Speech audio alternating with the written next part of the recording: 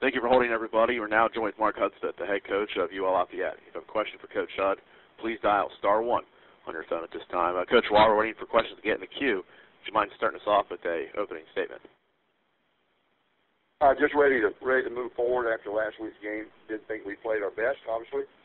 Didn't um, didn't play very well on either side of the ball, uh, especially the last second half. I thought the first half uh, that we uh, we did some nice things, but uh, once we lost momentum, never got it back and didn't didn't do the things we needed to do, like taking care of the ball and then uh, causing some turnovers. So we're ready to uh, move forward as we try to improve as a team. And uh, so a lot, a lot of season left to go, and by no means do we do we uh, press the panic button. We still feel like we got a really good team, and looking forward to continuing uh, this week's preparation against against a very good Ole Miss football team. Thank you, Coach. As a reminder, our members of the media, it is a star one to ask questions. Uh, you alluded to it earlier. Would you mind giving us a scouting report on Ole Miss? Well, I think uh, you know their their personnel speaks for itself. Their defensive personnel is probably uh, some of the best in, in the uh, in the Southeastern Conference.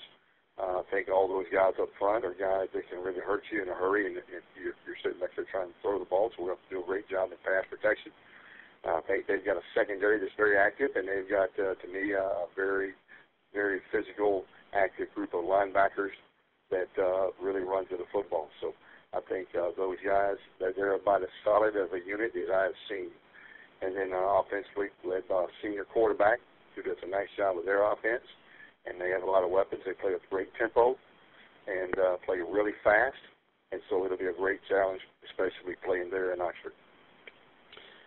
Coach, you mentioned earlier, you know, not hitting the panic button, but you know, this week in practice, is it mainly just trying to focus on on maybe some mental errors, or just uh, you know, scheme wise, or what, what are kind of your thoughts on that?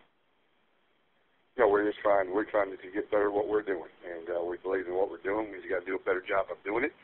Uh, we've got to do a better job of taking care of the football. We've never had that problem before, and and until this uh, Saturday night uh, when it really showed up. So we've got to take care of the ball if we hope to have any opportunity there in Oxford because those guys can expose you really quickly. Uh, first uh, caller is uh, from New Orleans. Uh, caller, please identify yourself and uh, go ahead. Yeah, this is uh, Trey Iles with uh, New Orleans Times, StickYouKnow.com. Coach, I was wondering, do you have an update on Jamal Robinson, how he's doing? Yeah, he, he's doing fine. We we do think he will be available for Saturday. Thank you. Thank you, Trey, and uh, thank you, Coach. That's all the time we have for you today. We do appreciate it.